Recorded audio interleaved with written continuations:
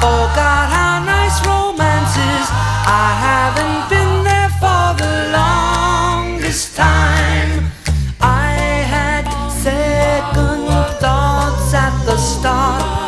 I said to myself, hold on to your heart. Now I know the woman that you are. You're wonderful so far, and it's more than I hope.